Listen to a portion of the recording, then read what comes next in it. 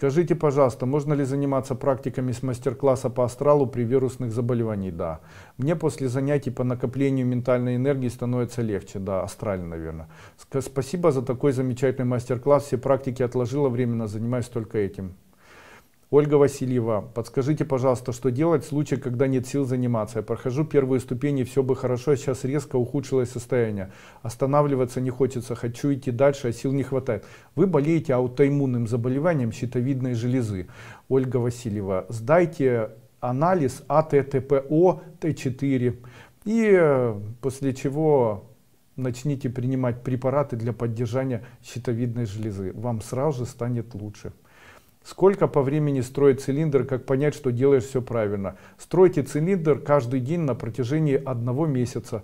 Со временем, через там 7 лет, вы поймете, как он работает, вы начнете его ощущать в себе, как беспрерывный тоннель или беспрерывный такой поток бесконечной энергии, внутренней радости. Это будет на более высоких ступенях. Любовь Кашура, здравствуйте. Скажите, пожалуйста, когда говорят, что не хватает внутренней энергии, это означает, что не хватает психической энергии? Да. Или какой-то еще. Это не хватает астральной энергии, которая является потенциалом. Мы же можем... Вот у нас не хватает физической энергии. Каким образом это проявляется? Если физической энергии не, про, не, не хватает у человека, то он утром просыпается и не может присесть, не может встать, не может поднять, у него нет сил. Далее э, не хватает чувственной энергии. Человек не может обниматься, не может никому сказать хорошие слова, не может думать. Дальше не хватает энергии сознания шень. У человека не может запомнить три слова, не может ничего сделать. Не хватает астральной энергии. Не хватает астральной энергии, и э, астральная энергия накапливается, когда человек выполняет астральное накопление энергии, это дыхание э, в дневное время, более глубокие, чем выдохи. И не хватает астральной энергии, человек не может э, ночью ночью не может выспаться, просыпается весь как поломанный. Не хватает ментальной энергии, заснуть человек не может. То есть он менталом не может погрузиться в астрал. Таким образом, не, хватает, не можете заснуть вечером, не хватает ментальной энергии. Не можете проснуться, не хватает астральной.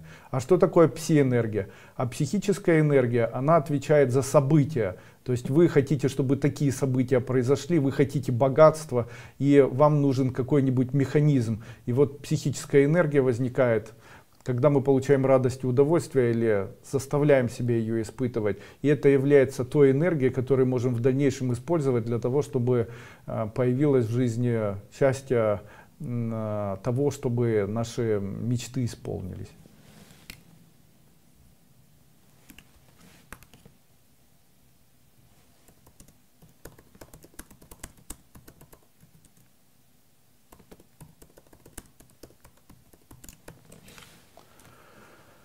Дальше.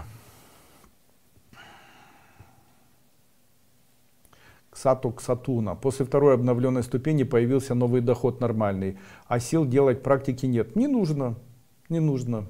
Хотя слушаю шум для увеличения пси-энергии, этого достаточно. Сколько ждать и что делать, чтобы сохранить прибыль?